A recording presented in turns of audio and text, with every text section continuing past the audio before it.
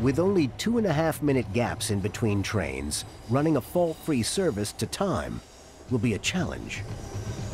To do this, they will need to use a radical new feature called auto reverse. During rush hour, trains sometimes need to switch direction to relieve the busy central stations. To avoid the driver having to walk 650 feet to the cab at the other end, wasting valuable minutes, these trains have a much quicker solution. When they need to do a fast turnaround to head back into the West End from Paddington Station, the driver activates an auto reverse feature that allows the train to drive itself.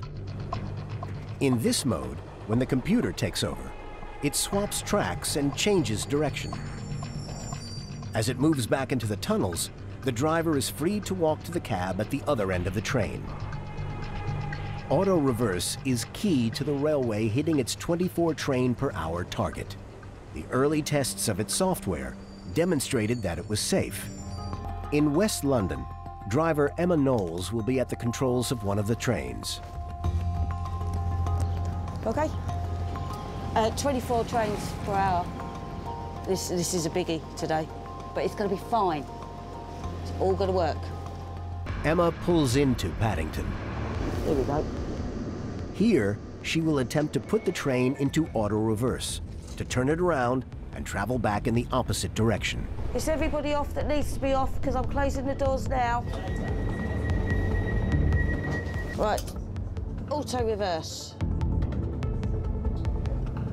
Auto reverse.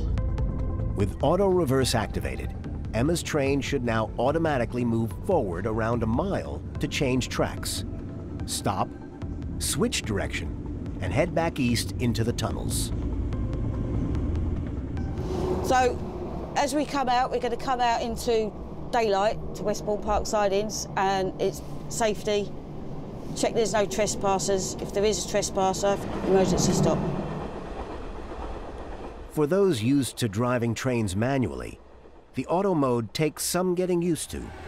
That's scary. No driver, that is so scary. Mild heart attack. Oh.